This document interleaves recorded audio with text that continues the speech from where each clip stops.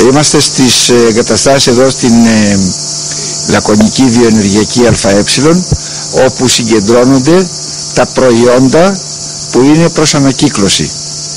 Ε, ο κύριος ε, Αργυρόπουλος κατ' επανάληψη μας έχει αναπτύξει την ε, φιλοσοφία και την θεωρία της όλης δομής αυτής η οποία είναι πρωτοποριακή όχι μόνο σε πανελλαδικό αλλά και σε πανευρωπαϊκό επίπεδο με την έννοια ότι δεν είναι τίποτα το καινούριο, είναι μέσα από, τα, από τους νόμους της φύσης, αλλά παρόλα αυτά γίνεται μια σωστή πλέον εκμετάλλευση εντός εισαγωγικών όλων των προϊόντων που πετάμε. Έχουμε λοιπόν την οικολογική ανάπτυξη μέσα στην, ε, στο απάβγασμα της ε, εφαρμογής της. Έτσι λοιπόν παρακάλεσα τον κύριο Πρόεδρο και μέλη και του ΔΣ και απλούς μετόχους της ε, βιοενεργειακής εντάξει δεν μπορούμε να μαζευτούμε 2.500 άτομα και 3.000 άτομα αλλά έστω αυτοί οι λίγοι για να μπορέσουμε να ανταλλάξουμε ε, τις ε, βασικές θεωρίες που διέπουν το σύστημα της ε, λακωνικής βιοενεργειακής. Κύριε Αργυρόπουλε, θα μας κάνετε και εσείς μια εισαγωγή. Καλησπέρα, ευχαριστώ πολύ για το βήμα. Αυτό που θέλω τώρα να τονίσω με όλα αυτά που ξέρουμε είναι ότι αυτή η εταιρεία είναι μια κοινωνική εταιρεία. Κοινωνική λαϊκή εταιρεία. Και είναι και αυτό μια καινούργια έννοια στο χώρο μας, γιατί είναι και αυτή παρεξηγημένη. Απλώς με λίγα λόγια να πω ότι είναι μια κοινωνική εταιρεία κέρδους, αλλά η διαφορά είναι, και μην γελάει ο κόσμος, ότι έχει λίγο κέρδος. Είναι ορισμένο το κέρδος της, γιατί ασχολείται με προϊόντα κοινωνικού χαρακτήρα. Μάλιστα. Δεν μεγιστοποιεί το κέρδος, απλώς πρέπει να έχει διαχείριση με κέρδος. Αυτό προβλέπεται στο εταιρικό; Αυτό προβλέπεται ουσιαστικά από τη φύση και στο εταιρικό προβλέπεται και προβλέπεται και από τη φύση της εταιρείας.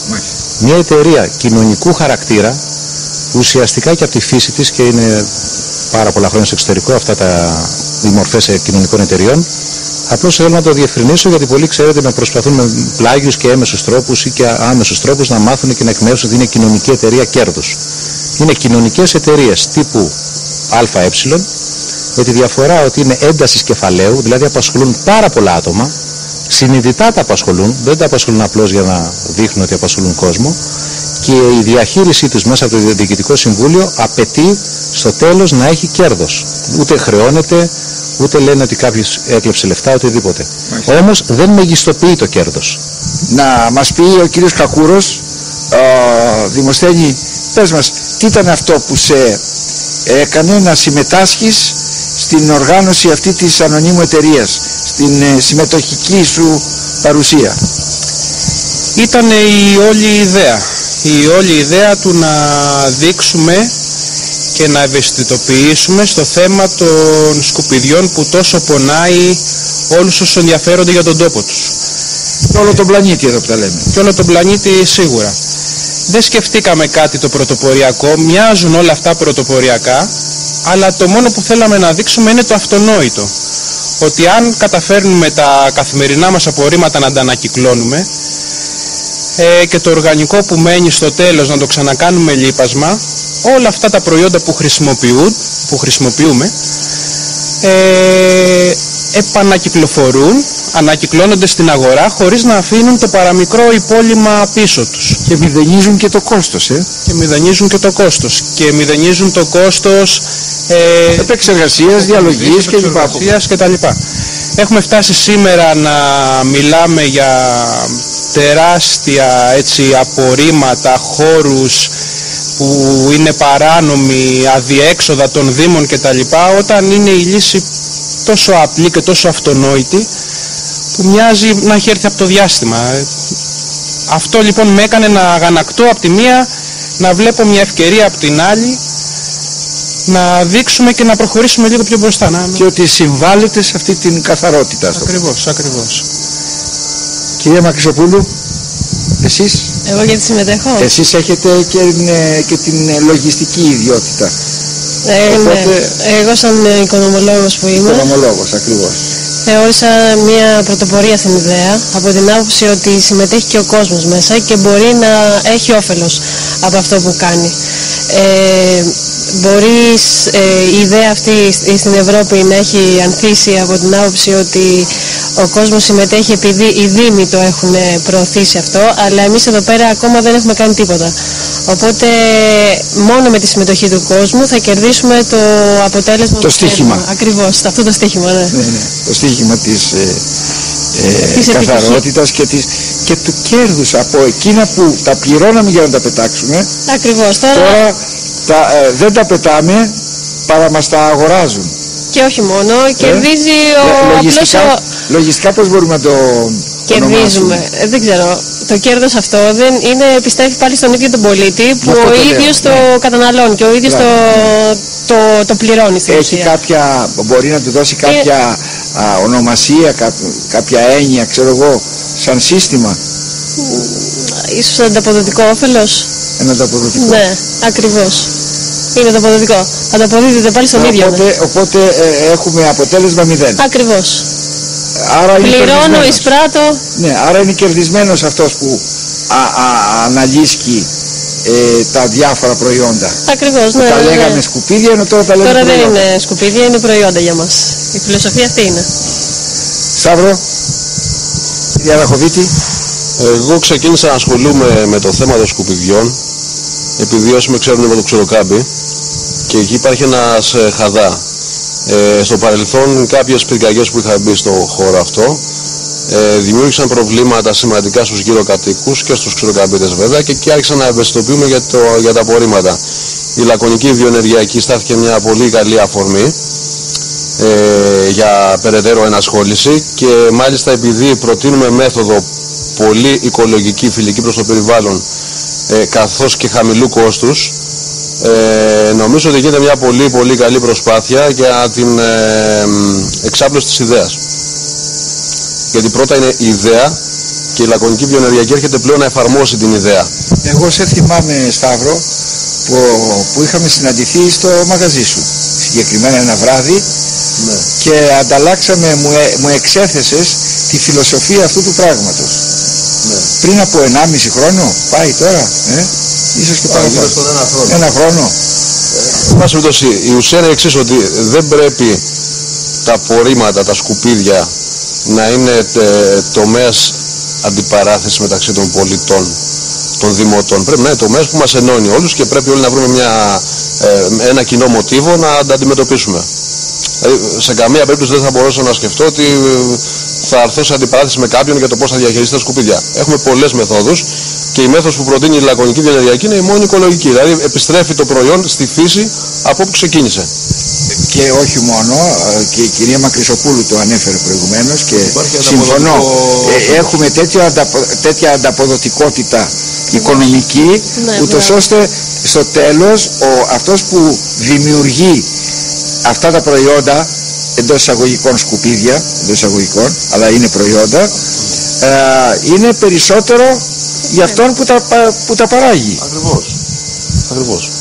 Η ουσία είναι να υπάρχει και ανταποδοτικό όφελος. Είναι ένα προϊόν το οποίο το έχω αγοράσει, το έχω πληρώσει. Και εσείς, εσείς ε, σαν α, εταιρεία ήδη εδώ που βρισκόμαστε κύριε Αργυρόπουλε ε, βρισκόμαστε στις, ε, στην καταρχήν εγκατάστασή σας από πλευράς να έχετε κάποιο χώρο να συγκεντρώνετε τα υλικά που σας φέρνουν οι, τα μέλη, Πολίτες. οι μέτοχοι, οι πολίτες. Όχι μόνο μέτοχοι. Εδώ μπορεί να τα φέρει οποιοδήποτε πολίτης τα προϊόντα αυτά.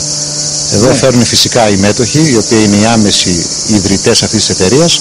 Αλλά φανταστείτε ότι αυτή τη στιγμή που μιλάμε είναι χιλιάδες τα άτομα που σε καθημερινή βάση περνάνε και αφήνουν τα προϊόντα τους. Α, δηλαδή εδώ λειτουργεί επί, επί καθημερινής βάσεως; Καθημερινής βάση πλην Κυριακής από 9 το πρωί έως 5 το απόγευμα. Ο κάθε πολίτης εδώ πέρα έρχεται, έχει συμφωνήσει στην ουσία με εμά ή με τον εαυτό του.